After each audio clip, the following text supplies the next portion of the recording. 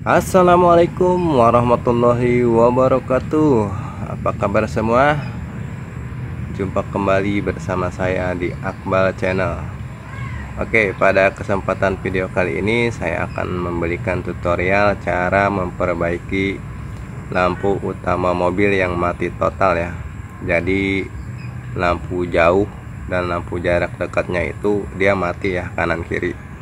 Yang menyala hanya lampu senja saja di sini saya tidak memponis bohlam lampunya ya. Karena biasanya kalau bohlam lampu yang mati atau putus itu lampu tidak akan mati total semuanya ya. Paling hanya satu kanan atau kiri saja.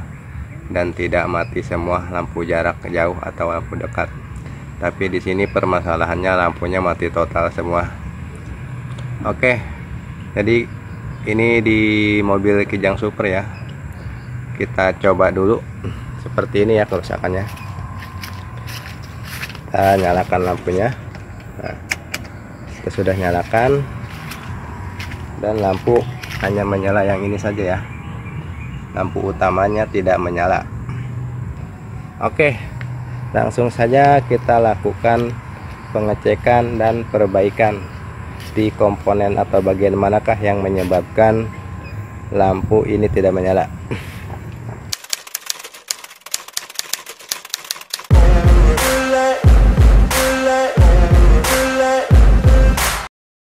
Jadi untuk proses langkah pertama saat kita mengalami lampu utama mati total, kita cek bagian sikring dulu ya, yang mudah dulu. Letaknya di sini kita buka tutupnya. Nah, perhatikan di sini ada banyak sikring. Kita cari sikring untuk bagian lampu utama ya. Kalau kita tidak tahu letaknya seperti yang sebelah mana kita lihat saja di tutupnya. Nah di sini ada tulisan head 20A itu untuk sikring lampu mobil utama ya. Nah yang ini letaknya. Kita cek sikringnya ya. Kita bisa cabut sikringnya seperti ini. Lalu kita lihat. Ya di sini tidak putus ya masih bagus kita pasang lagi kalau emang masih bagus. Atau bila bila kurang yakin kita bisa mengatesnya memakai bohlam ini ya bohlam atau tes pendesnya seperti ini. Kita ini kan ada dua ya. Nah satu satu. Yang satu di bawah yang satu di atas. Kita tempel ke sini satu. Nah lampu menyala. Dan kita tempel yang atas lampu juga harus menyala. Yang artinya si kring ini masih bagus tidak putus. Kalau di sini bagus tidak putus dan lampu masih belum menyala kita lanjut pemeriksaan ke di ruangan mesinnya atau ke soket lampu utamanya. Oke lanjut. Setelah kita memeriksa si kring lanjut kita periksa di rangkaian relay tambahan ini ya biasanya kalau mobil-mobil yang model lama ini sudah memakai relay tambahan ya karena kan lampu utamanya yang sudah mulai meredup. Makanya sering dipasang relay tambahan. Nah di relay tambahan ini seperti ini. Ini adalah relay tambahan ya.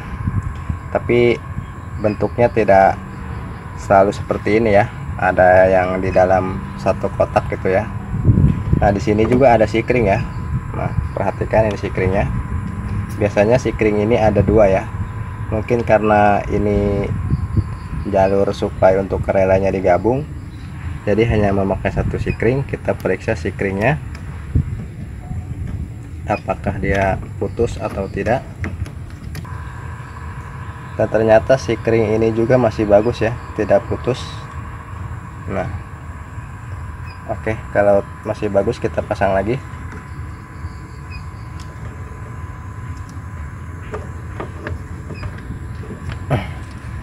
setelah si kring relay ini masih bagus untuk memastikan kerusakannya itu di bagian relay tambahan atau di jalur perkabelan lampu utama mobil bawaannya kita lepas dulu ya. Biasanya di sini ada soket. Nah yang soket dari relay dan soket bawaan lampu mobilnya ya kita lepas soket yang ke relay jadi kita coba tanpa menggunakan relay dulu untuk memastikan apakah kerusakannya di relay tambahan atau memang di rangkaian lampu bawaannya dulu ya. Oke kita cabut dulu soket ini ya. Nah kita udah cabut soketnya. Di lampunya juga ada soket yang berasal dari relay tambahan ya. Kita cabut kita sambungkan ke jalur lampu bawaan mobilnya. Biar lebih jelas yang sebelah sini ya. Nah di sini kan ada dua soket ya. Yang ini soket bawaan mobil lampunya. Nah yang ini soket dari tambahan relay ya. Kita cabut yang dari tambahan relanya kita pasang yang dari bawaan mobil aslinya nah kita pasang. Seperti ini. Nah lalu kita coba hidupkan ya untuk memastikan apakah kerusakannya di relay tambahan atau di rangkaian lampu mobilnya. Kita coba nyalakan. Sudah kita nyalakan lalu kita lihat apakah sudah menyala. Nah ternyata lampu masih belum menyala ya. Jadi kerusakan bukan berasal dari relay tambahan ini. Lanjut kita cek periksa relay lampu bawaan mobil ya. Karena di mobil ini sudah ada relay bawaan asli mobilnya ya. Kita periksa. Nah langkah selanjutnya kita akan memeriksa relay bawaan mobil ya karena di mobil ini udah ada bawaan relaynya yang letaknya seperti ini di sini ya. Nah ini udah saya buka. Nah untuk mengeceknya seperti ini ya. Perhatikan di soket ini ada tiga kabel ya. Jadi ini ada dua relay yang satu untuk ke lampu senja dan satu lagi untuk ke lampu utama. Untuk mengecek relay ini bagus atau tidak perhatikan di sini ada tiga soket. Maaf maksud saya ada tiga kabel di masing-masing soket. Nah kabel yang pertama ini kabel yang menuju positif aki langsung ya. Kita periksa seperti ini. Nah dia lampu menyala. Nah kabel yang ini dia kabel yang berasal dari saklar lampu yang disetir ya. Jadi saat kita menyalakan saklarnya perhatikan kita colok di sini. Kita nyalakan ke kita nyalakan saklar lampunya. Nah dia menyala. Kita matikan. Nah dia mati. Jadi kalau seperti ini saat kita menyalakan saklar lampu yang setir dia menyala atau ada arus berarti bisa dipastikan relay ini masih bagus atau masih berfungsi. Kita ulangi ya ngeceknya ini arus dari aki langsung menyala. Nah ini kan kalau kita colok belum dinyalakan saklarnya belum menyala lampunya. Kita menyalakan nah dia menyala. Jadi ini masih bagus. Kalau sudah dipastikan ini bagus berarti permasalahan bukan di rela ini ya. Tapi kalau saat kita seperti ini kita nyalakan saklarnya. Lampu tidak menyala. Kemungkinan rela ini rusak. Nah jadi kita sudah melakukan pemeriksaan. Yang pertama si kring ini. Yang kedua rangkaian relay tambahan dan masih belum menyala. Lalu kita sudah mengecek ini juga dan dipastikan ini sudah bagus. Langkah selanjutnya kita mengecek saklar ini ya yang disetir. Apakah saklarnya yang bermasalah? Atau mungkin di perkabelan antara saklar ini ke jalur lampunya? Oke untuk membuka atau mengetesnya kita lepas covernya dulu ya. Karena soketnya ada di dalam cover ini. Lanjut saya buka dulu covernya nah jadi saklar lampunya sudah saya cek ya. Dan ternyata saklar lampu ini masih bagus. Nah untuk cara mengecek saklar lampunya ini mungkin bisa disimak di video saya yang lain ya. Karena kalau saya dijelaskan di video ini mungkin durasinya akan sangat panjang. Makanya saya khususkan membuat video cara mengetes saklar lampu ini ya bisa disimak di video saya yang lain. Nanti linknya saya sertakan di deskripsi. Dan setelah saya periksa dan saya nyatakan bagus saklar ini dan saya juga memeriksa konektivitas tiap kabel ya tiap kabel di soket ini yang ke sini. Dan ternyata saya menemukan ada satu kabel yang tidak terkonek ya antara soket atas ke soket bawah ini. Ada satu kabel yang tidak terkonek sebentar saya perlihatkan. Nah bisa diperhatikan. Jadi soket yang ini dia meleleh.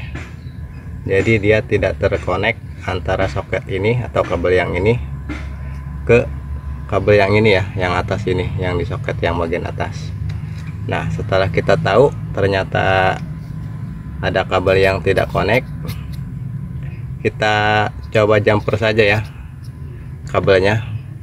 Dari kabel atas soket yang atas ke soket yang bawah. Pastikan semua terkonek ya. Kita bisa mengukurnya pakai ini multitester agar kita tahu setiap pin-pinnya ini benar-benar terkonek ke soket yang atas ya saya jumper dulu ya ke kabel yang ini yang meleleh ini ke soket yang atas.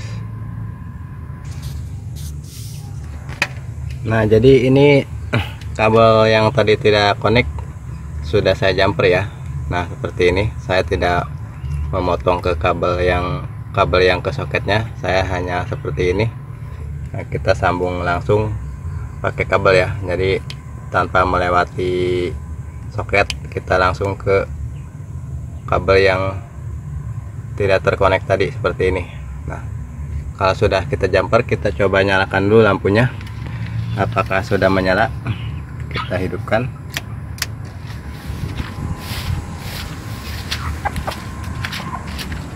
Nah sekarang lampunya sudah menyala ya.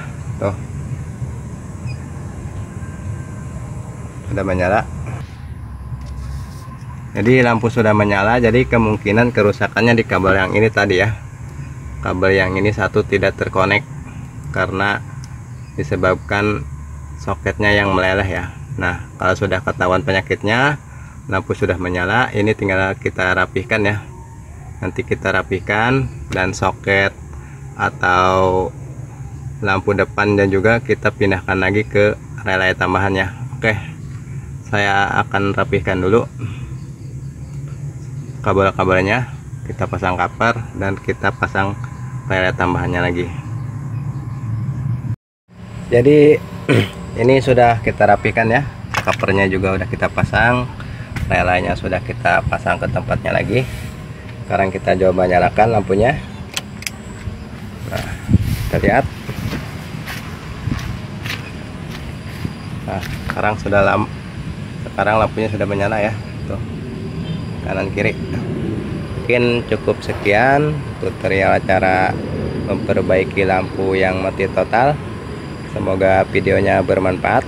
Jangan lupa like share komen dan subscribe. Wassalamualaikum warahmatullahi wabarakatuh